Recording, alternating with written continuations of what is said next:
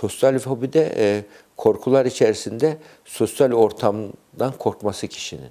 Sosyal ortamda e, özellikle ala- alan korkusunun bir tür- türüdür bu.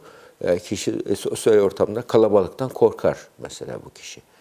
Yani bir kalab- e, sosyal fobik bir kişi e, yabancı bir kişiyle karşılaştığı zaman gözünü kaçırır. Gözlük takar. E, ve e, bu kişi hep mahcup olacak, rezil olacak, hata yapacak korkusu nedeniyle hep kaçınma içerisindedir. Sosyal alanlardan kaçınır. Bu kişi istemediği halde yalnız kalır kişiler. Ee, bir kalabalığa girdiği zaman herkes ona bakıyor gibi hissederler bu kişiler. Ve özgüvenleri düşüktür bu nedenle bu kişilerin. Özellikle alışılmış işleri ve güvenli alan oluşturduğu işleri iyi yaparlar. Ama diyelim terfi ettikleri zaman yahut da bir konferansta konuşması beklenmeyen bir şekilde e, davet edildiği zaman müthiş paniklerler, kontrolü kaybediyor gibi hissederler, ölecek gibi hissederler. O ortama girmekten kaçınırlar.